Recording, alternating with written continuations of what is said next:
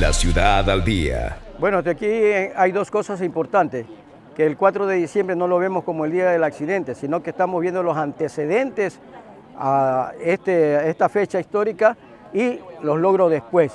Hemos conformado un comité con el propósito de llevar eh, al Consejo del Carmen, al Consejo de Chone, vivencias para que luego estos organismos municipales presenten ante el Consejo Provincial eh, todos los datos concernientes y vivencias recogidas para que el Consejo Provincial eh, tome en su aspecto una ordenanza con el propósito que los 4 de diciembre de todos los años sea una eh, fecha cívica provincial. ¿Quiénes han sumado esta participación? ¿Quiénes están acá? Bueno, aquí estamos este, un grupo de personas como tres personas de las que estamos, eh, no fallecimos en el, accidente, colaboración de la historiadora como la señora Finita Viteri, eh, la compañera abogada María Auxiliadora, que es una representante a nivel cantonal, eh, personas como don Stalin Riveneira, como don Carlos Muñoz Álvarez, y eh, del Consejo Provincial la señora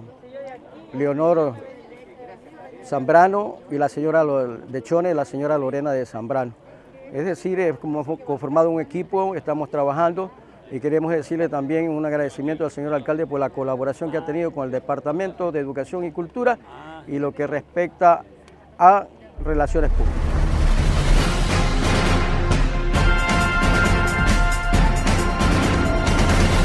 La ciudad al día.